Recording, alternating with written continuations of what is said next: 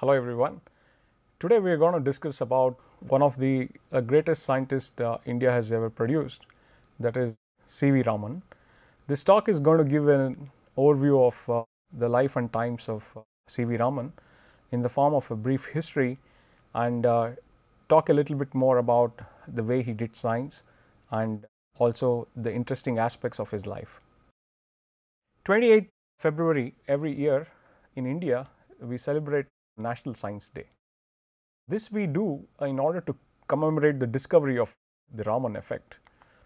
An important observation confirming Raman effect was done on 28 February 1928 by Raman and his students and this has had a very important implication uh, in, in physics and uh, various different disciplines of science.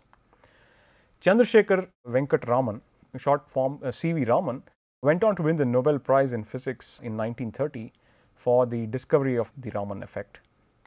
For this particular talk, I have used uh, three sources, essentially three books. One is the uh, pictorial biography on Raman. The other one is uh, a fantastic biography on Raman written by uh, G. Venkataraman. It's called Journey into Light. And also a popular science book uh, written by the same author, G. Venkataraman, which is called as the Raman and his effect.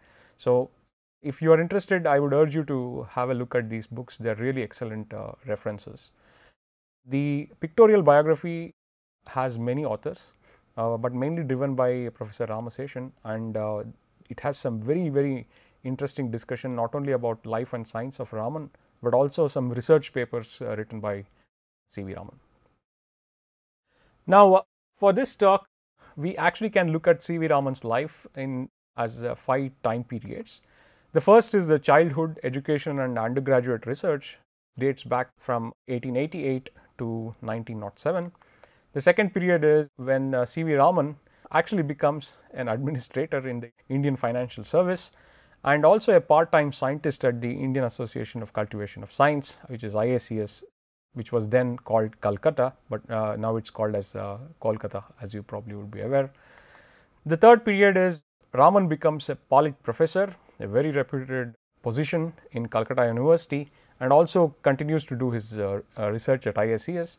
And this period between 1917 to 1933 is the main time when uh, the great discovery happens, which I am going to talk a little bit more about.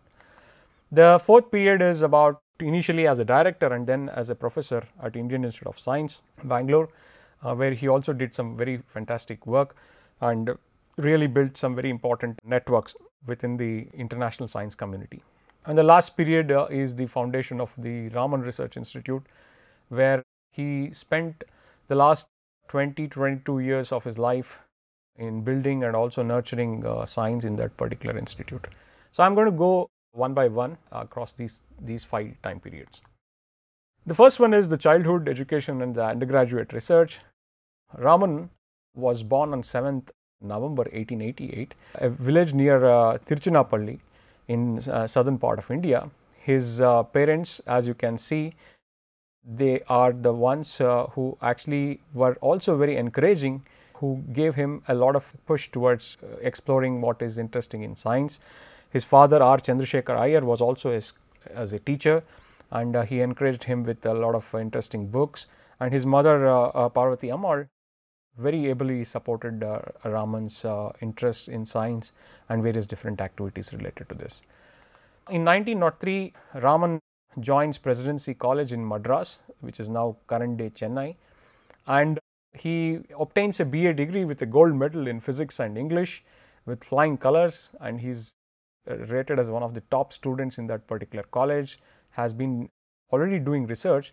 And interestingly, as early as 1906, Raman publishes his first research paper and that particular research paper happens to be on oblique illumination of light onto a, a particular uh, slit and the diffraction pattern one can obtain from that slit. It is a very neat piece of work and uh, it actually has some very interesting implications and um, there is uh, the, these are the questions Raman was uh, um, basically interested. So, you can see his very first research paper was on, on an optics uh, topic which actually continued until until his death and uh, it is a very fascinating aspect of his uh, work.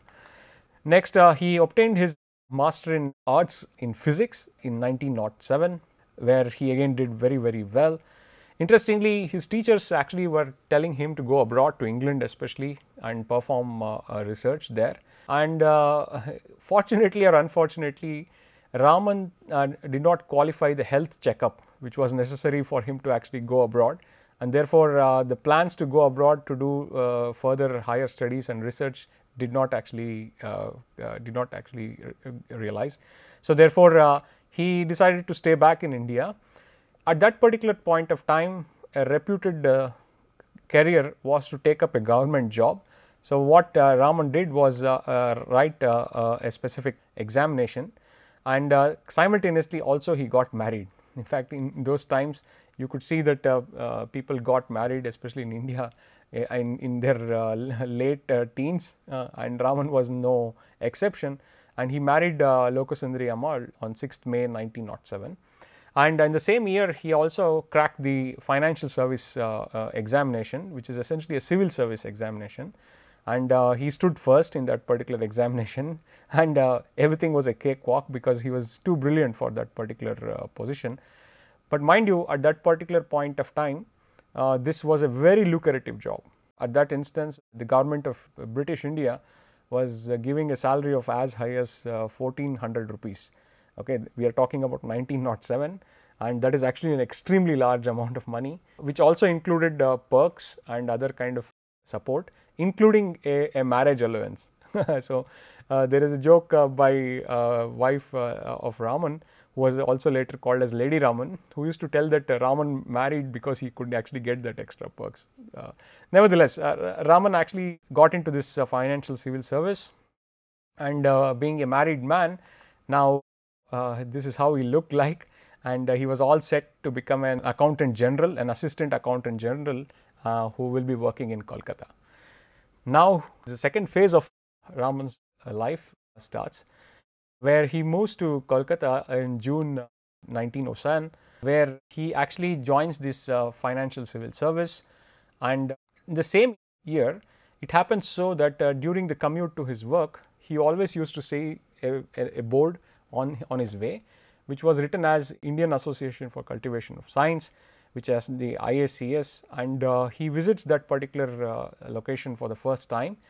And he meets uh, Amritlal Sarkar, who was the son of uh, Mahendralal Sarkar, who established uh, IACS. And he expresses his interest in performing research outside the time of his uh, normal uh, work.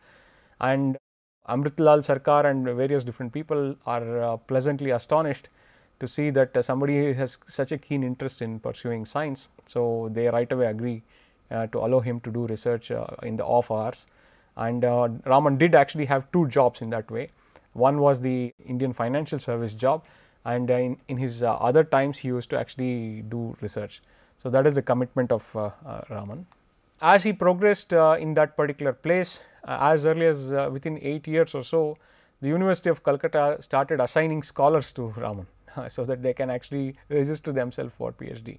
And remember, Raman did not have any PhD. okay, he actually was a master's uh, uh, in in physics, but his knowledge and his uh, drive and the amount of uh, research he did, even even handling the financial service work and also doing research, he ended up publishing some very interesting work in this particular time period, he wrote a lot of interesting papers on acoustics, especially on uh, uh, Indian musical instruments and acoustics of Indian uh, musical instruments. There is a fascinating uh, uh, amount of research what he has done and um, a very very interesting uh, topic which Raman had kept very keen interest on. Now, important things happened roughly around 1915-16 where uh, Ashutosh Mukherjee, who was also one of the kind of founders behind the uh, IACS, who was then also the High Court judge of Calcutta, and uh, he also became the vice chancellor of Calcutta University. So, Ashutosh Mukherjee always kept a keen eye on uh, C.V. Raman, and he always thought that uh, this particular person has huge amount of enthusiasm and interest in, uh, in, in doing research. So, he immediately asked him to join uh, Raja Science College as which is part of the University of Calcutta so that he gets an association with the university and simultaneously do research in, uh, in, in, IACS. And 1917 was also an important year because University of Calcutta actually offered Palit professorship to Raman, so that he actually could pursue research full time. Now, uh, interesting thing is this is, was a tenured position where he could actually stay back up to 60 years of his life uh, of his of his age, and uh, importantly, if he had if he had to take that particular position, he had to also leave the financial service. And as I told, financial services then was very lucrative job, and uh, he had to take a huge pay cut where uh, his salary was as less as 600 rupees or something as a Palit professor, which was less than half of what he was earning. And uh, nevertheless, Raman took the job. He quit the financial service for good and uh, became a full time researcher, which is kind of a remarkable story by itself. Now, in the same year, uh, Raman also conceptualized uh, the establishment of Calcutta Physical uh, Society, where uh, he established a kind of uh, uh, association of various different physicists to pursue science and discuss various different topics. Now, the next phase 1917 to 1963 where Raman now becomes a Palit professor and teaches at Calcutta University and does research at IACS and uh, he does both very efficiently. And in 1919, Amritlal Sarkar, who offered the job at IACS, unfortunately dies, and uh, Raman becomes the honorary professor and secretary of uh, IACS. So he essentially takes over the IACS in terms of the the functioning there, and uh, he starts the very important chapter of his research uh, life, uh, uh, where he starts exploring various different aspects of light scattering. Mainly he has been motivated now uh, by reading some of the great papers written by uh, Rayleigh, Lord Rayleigh. And also I should mention that Raman was deeply influenced by the German researcher Helmholtz. So he actually really had great uh, admiration towards these uh, classical physicists and he had a very strong foundation in classical physics and uh, you will see that uh, that foundation not only helped him to connect the classical mechanics to quantum mechanics, but also made him a very good researcher. Now, at the same time around 1921, uh, Raman remember did not have a PhD, but uh, University of Calcutta offered him a honorary uh, DSc degree. Uh, this was again arranged by uh, Sir Ashutosh Mukherjee, whom I just mentioned earlier. And uh, it, it was very important because then it gave him a specific kind of a stature and further it also helped him to embark upon a very important journey abroad and uh, this was for the first time he was going abroad in his life and he visited uh, England where uh, he studied some of the aspects of uh, Rayleigh Whispering Gallery modes at St. Paul Cathedral and he also visited various different researchers. The most important event which happens is on the ship called SS Narakunda uh, where he is now traveling back from England to India and uh, he has to spend a lot of time on the deck of the sea and uh, a particular question always is, is in his mind. And that question is why is the sea blue? Okay? The question is very simple. This question is also kind of connected and motivated to the why is the sky blue? Because Rayleigh had already answered this very interesting question. And with the phenomenal success because he has, he would he was able to actually explain the blue of the sky. Whereas Rayleigh actually had just extrapolated telling that the same principles may also hold good in, in, in water uh, and therefore the sea is also blue just because of the reflection of water. Raman kind of uh, did not agree on this particular aspect.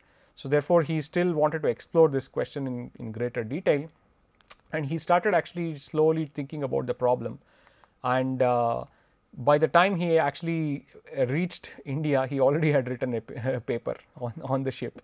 Okay, he sent this particular paper to Nature and the color of the sea, uh, which actually is a very famous paper of C.V. Raman, where he hypothesizes that uh, the kind of scattering which happens uh, due to the molecules in the air can also lead to some very interesting consequences due to the scattering of light from molecules in water which leads to some interesting colors and other aspects of it.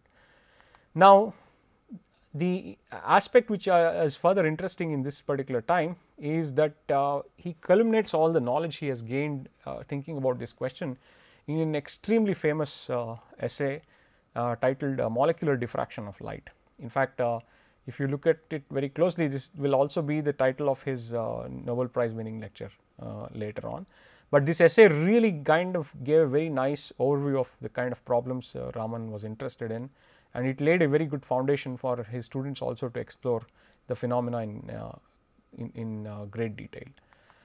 Now, uh, in order to understand the interaction of light with the molecules in, in, in a liquid, his students also started looking at various different uh, processes of interaction of light with molecules of which one of the consistent observations from his student was something called as feeble fluorescence.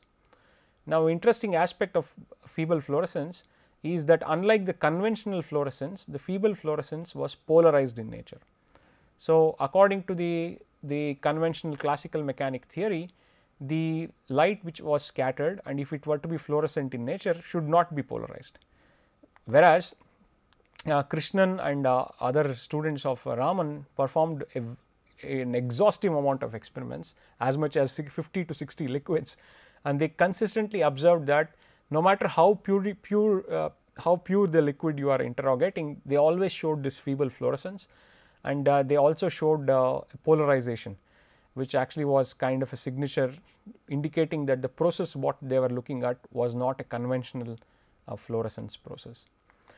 During the same time around 1925, Kramer and uh, Heisenberg uh, published one of the very important uh, um, theoretical uh, uh, paper on the scattering of light by atoms, where they also refer to the uh, work done by Smekal, where Kramer and Heisenberg actually had mentioned that there can be another kind of scattering which can happen because of some interesting exchange of energy between light and atoms and uh, mind you this is still pre quantum mechanics era. So, the quantum mechanical arguments were still kind of coming into, into the uh, forefront and this was one of the uh, hypotheses which was laid by Kramer and Heisenberg with uh, excellent references to Smekal. And you will see that this is going to become an important reference going further. So, this gave a direction telling that the feeble fluorescence what Raman and his students were looking at was not something conventional fluorescence, but had some kind of quantum nature to that particular interaction. So, therefore, in one shot Raman and his students actually took a catapult uh, kind of uh, from classical uh, observations right to the heart of the quantum mechanics. And uh, within a couple of years 1927 uh, Compton received a Nobel Prize for uh, studying the scattering of X-rays from electrons, free electrons which actually showed uh, inelastic scattering of X-rays and already laid a very important foundation which forms actually kind of a basis for Raman to take the leap of faith in, in uh, proposing the, um, the quantum mechanical interaction between light and matter. So, Dirac's QED is also in the air 1928. So, there is also now uh, the foundation for this particular argument is becoming stronger and stronger and still Raman and his students are observing this uh, feeble fluorescence. Now, this is the year 1928 is the time where the tremendous discovery happens. The what I am going to now show you is the extract from the diary of K. S. Krishnan, where uh, Krishnan actually talks about what happened during those days uh, where this particular excitement was happening. So, here he actually mentions that the fluorescence uh, could explain even the outstanding uh, facts because there is no theory of fluorescence which could explain everything uh, what they were observing and uh, he also mentions that other particular molecules have been studied and one of the important consequences that the light which has been scattered is strongly polarized as you can see it is written here. Now, here is where the connection is made on February 7th, Tuesday 1928 Raman uh, actually um, kind of comes back to the hostel where uh, Krishnan and another student uh, Venkateshwaran uh, after the meals uh, and they are actually chatting uh, in their rooms about 9 o'clock in the at night and Raman comes to the hostel and and knocks on the the doors of Krishnan and Venkateshwar and asks them to to come down for a discussion. And when they went down, Raman is very excited and uh, and he keeps telling that uh, that what they are essentially observing is the Kramer's Heisenberg effect which I just uh, told you in the uh, couple of slides ago. And uh, what he calls this as the effect as a modified scattering effect and not a conventional fluorescence. So, this is the first time where the modified scattering actually is put forth and uh, this is a very important uh, step in going further. So, with this a kind of hypothesis and understanding um, all his students and Raman further explore and this is the most important uh, event. On fe February 28 Tuesday, uh, Krishnan writes that uh, uh, went to the association only in the afternoon, professor was there and we proceeded to examine the influence of the incident wavelength on phenomena. Use the usual blue violet filter coupled with uranium glass that is the kind of uh, uh, filters they were using. The range of wavelengths transmitted which is essentially the scattered light by combinations of these transmitted filters alone on examining the track with different uh, vision spectroscope which is the instrument they were using to visualize this uh, scattered light and uh, they found to their great surprise that the modified scattering was separated from the scattering correspond to the incident light to a dark region which means that they actually had were seeing this as a very very clear scattering signature which was an inelastic scattering process. This particular event is now considered as the day of the discovery of Raman scattering and this is the reason uh, why India celebrates the science day uh, because this important discovery was made on Feb February 28 Tuesday and uh, 1928 and uh, this is a kind of remarkable day and therefore uh, we do commemorate this as the as an important day in the history of Indian science. And uh, Raman was enthusiastic you could see uh, this very beautiful picture of Raman with his spectrometer and this instrument is still preserved till date at IACS Kolkata and uh, towards the right side you will also see the first ever Raman spectra photographed uh, using that kind of an instrument. And uh, this is the famous nature paper which forms the basis on which even the Nobel prize is awarded and you can see that they are also making uh, a comparison with the Compton effect and also call this particular new radiation as a modified scattering uh, from the case of ordinary light. Two types of uh, scattering also occurs um, and um, they distinguish this particular scattering and you can clearly see Raman and Krishnan are the authors of this paper and the address is in uh, the famous Bow Bazar street at Kolkata. Now, uh, this is one of the earliest spectra recorded uh, by Raman and his students, the Raman spectra of uh, carbon tetrachloride and it is a beautiful spectroscopic signature of that particular thing and uh, later on uh, between 1917 to 1933 furthermore he continued to do this effect. So, discovery happened on 28th uh, 1928. Raman actually was extremely well networked. So, immediately he called a press conference with the Associate Press of India, released the news and they published that particular news right away on the next day because this was confirming and mind you he has already sent the paper in, in early February. So, he was doing all the things in the right direction and 1928 16th March uh, he gave a detailed lecture in Bangalore uh, to the South India Science Association where he gave all the evidence for the this particular effect. Here he gave and this particular lecture was also published in the Indian Journal of Physics.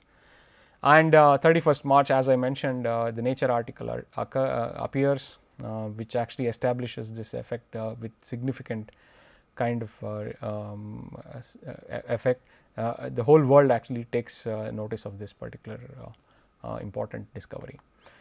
1928 I should mention in the July issue two Russians Landsberg and uh, also report independently the Raman scattering effect, okay, but they actually observed this in a solid state.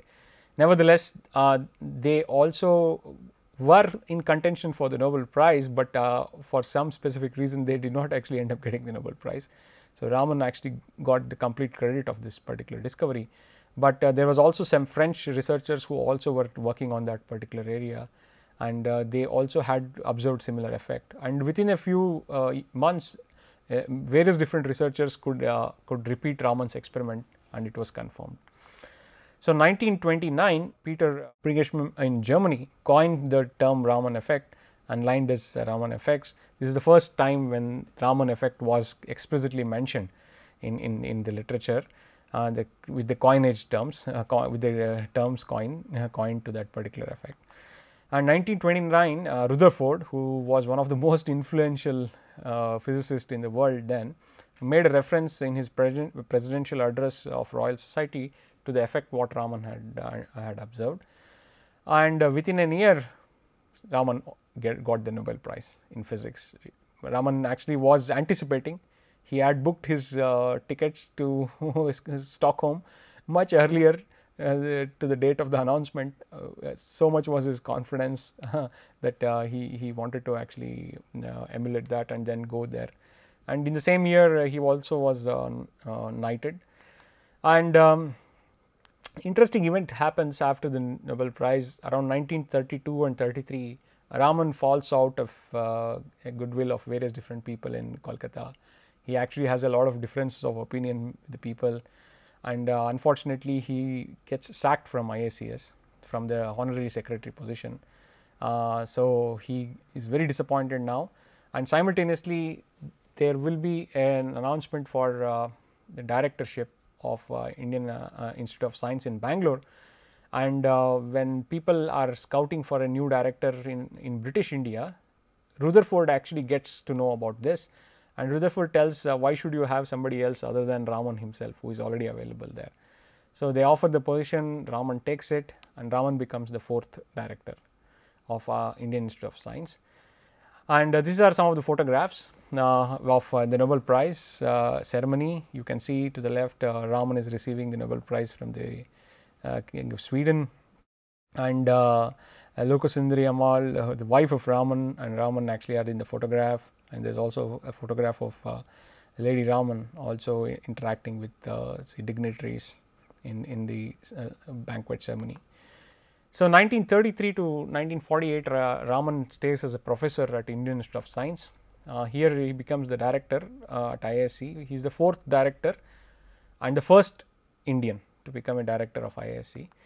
And uh, Max Born, the famous Max Born, uh, visits uh, IISc between October to March 1934. There's a long story, very interesting interaction between Raman and uh, Max Born. And there's also very interesting argument on crystal dynamics which uh, Max Born and uh, uh, Raman had different opinions on that particular theory, where Max Born's theory ended as the winner because that turned out to be accurate compared to the Raman. So, Indian Academy of Science was established in 1934 um, during the period of uh, Raman. Raman took the initiative for that. But unfortunately, again, because of various different controversies, Raman had to resign as the director of IISc but he still kept the position of a professor in that same place.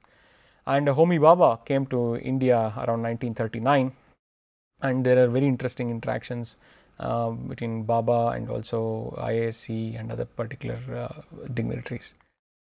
Now, uh, Raman was not only a very enthusiastic uh, researcher, in order to raise funds, he also actually, uh, you know, established uh, industries so, Travancore chemical and manufacturing industry which he helped establish uh, with uh, one of his students P. Krishnamurthy and uh, he actually did uh, uh, raise some money for some specific uh, research funds and things like that.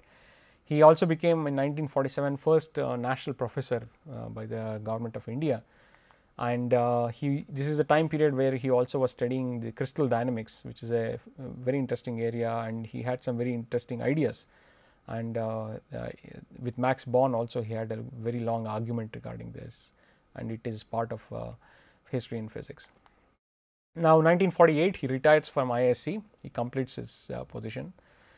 And then uh, these are some of the interesting photographs. You can see he's spending time uh, and having nice uh, kind of laughter with greats like Heisenberg. And also he here towards the right side he is talking to Dirac. Uh, Heisenberg, Dirac, all these people played a very important role in establishing uh, a Raman effect on a very strong footing because the, their theories actually helped them uh, uh to, to uh, for, for Raman to go ahead and hypothesize further all the effects what he was observing. He is also now photographed with Wolfgang Pauli and Yukawa and these are all photographs probably taken at Lindau uh, meeting which is the meeting of the Nobel laureates and uh, there are some very fascinating uh, photographs. Here you will also see he is photographed with Max Born and also mm, Mirza Ismail is also towards his right and the other photo what you see towards the right side is the Millikan uh, and uh, Raman in the same photograph. Millikan, uh, as you probably would be knowing from oil drop experiment, was also a very famous uh, physicist. Raman actually would have visited Millikan in Caltech in 1920s and uh, Millikan actually kind of uh, comes back to Bangalore and he makes a visit to Raman then. So, the last phase of uh, Raman uh, is in the Raman Research Institute. In 1948, Raman uh, found, uh, lays the foundation for the Raman Research Institute. He also gets the Bharat Ratna in 1954 along with uh, Rajagopalachari and uh, Sarvepalli Radhakrishnan. And in 1960s, he works extensively on color of flowers, human vision. He was a person who was mainly driven by aesthetics and connect, connecting those aesthetics to to physical phenomena and he does some very fascinating work. Even when he was at IISc, he does some very interesting work on Raman-Nath effect and other things, but I have not uh, kind of talked on that in detail. So, Raman actually was a very keen experimentalist. He also was very enthusiastic in, in showing his work to others. He always encouraged questions and had very nice interactions. And he also was an excellent lecturer and a, a narrator and a speaker and uh, here uh, towards the left you are seeing uh, him giving a talk on crystal dynamics. You can probably see the dispersion relationship also drawn on the board and towards the right side he is giving a talk. The most important thing about Raman is that he enjoyed interacting with children. He was a very big hit with, with small children. In fact, he was an excellent communicator of science. He really it seems enjoyed extensively interacting with children, really aroused their interest. There are so many of the people from that uh, generation of uh, children whom you see here have told that they got really inspired to do science because of the interaction with Raman. So, this is something which is uh, which is very good and very important as part of uh, being a scientist. Finally, 1970s, he is already about 82. Unfortunately, he had a cardiac arrest in his lab and uh, he falls ill he recovers a little bit, but on, uh, on 21st of November 1970, unfortunately, uh, C.V. Raman uh, passes away peacefully without any specific uh, element, but uh, he kind of a person who has created history and suddenly one day he is no more. So, that was actually a big loss for the Indian research community. This is the last photograph of Raman taken probably in uh, on the day of uh, October 2nd, Gandhi Jayanti in 1970 if I am correct. So, what I have now talked about is just a brief history of a, a great man uh, who dedicated his life to science and uh, his journey through this whole era from being a, a, an undergraduate very interested in science all the way to making an important discovery and eventually winning a Nobel Prize and also establishing uh, center of uh, excellences uh, at a few places Raman left his footprint at every place wherever he actually walked. He also made a very important contribution to science and I will end with the words of C.V. Raman, what India needs is science and more science. Thank you.